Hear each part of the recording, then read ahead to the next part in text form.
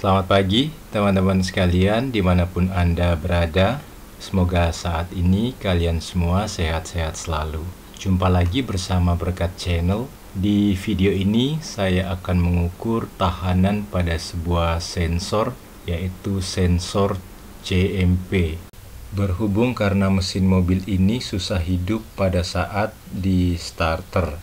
Sensor CMP-nya itu terletak di atas termostat jadi dia di belakang air cleaner sini dan air cleanernya harus kita lepas dulu untuk bisa melepas sensor CMP nah ini termostatnya teman-teman dan ini adalah sensor CMP nya ini sensornya teman-teman sudah cukup kotor dan akan saya bersihkan dulu untuk diukur tahanannya.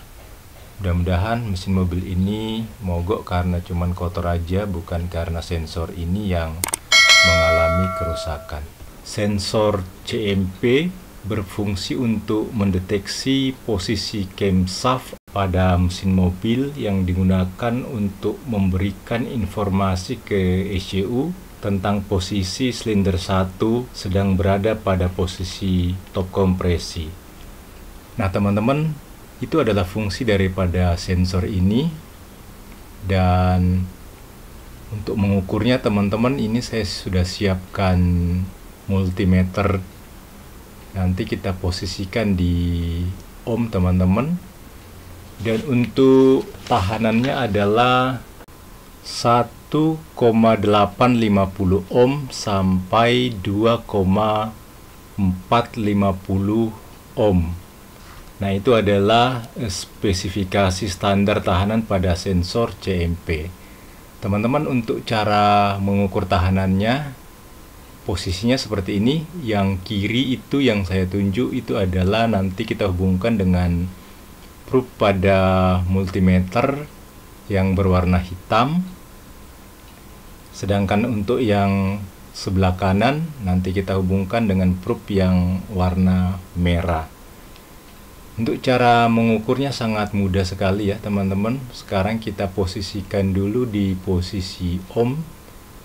Seperti ini yang kiri hubungkan dengan warna hitam kemudian yang kanan hubungkan dengan kabel warna merah. Hasilnya adalah 2,212 teman-teman. Berarti dengan pengukuran pada sensor CMP ini kondisinya masih bagus dan masih layak untuk dipergunakan. Kalau sensor CMP ini rusak akan mengakibatkan mobil tidak bisa hidup.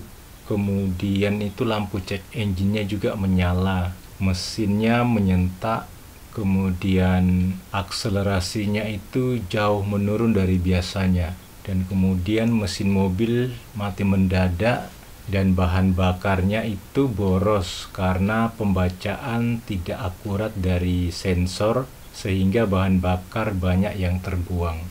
Jadi itu ya teman-teman uh, gejala yang terjadi pada mesin mobil kita jika sensor CMP ini rusak. Jadi untuk mobil-mobil yang tua seperti mobil ini sebaiknya sensor CMP ini kita lepas kemudian kita cek jadi kalau misalkan trouble bisa kita ganti. Sekian teman-teman untuk video kami kali ini. Semoga bermanfaat. Sampai jumpa di video-video berikutnya. Terima kasih.